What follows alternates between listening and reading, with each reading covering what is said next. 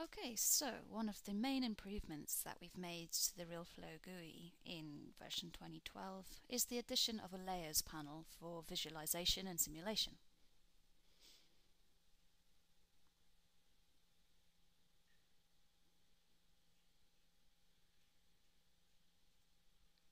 By grouping nodes into layers, this will definitely help you organize your scene setup better and give you a much more straightforward workflow.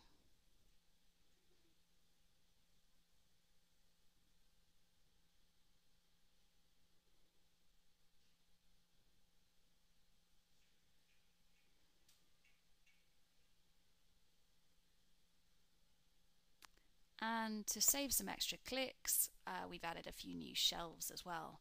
So you can use icons for some of the existing tools, like the fracture tool, the retimer,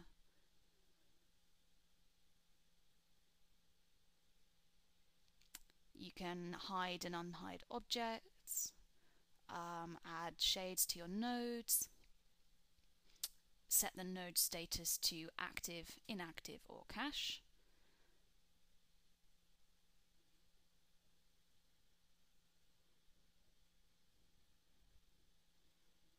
and also set the status for exporting data.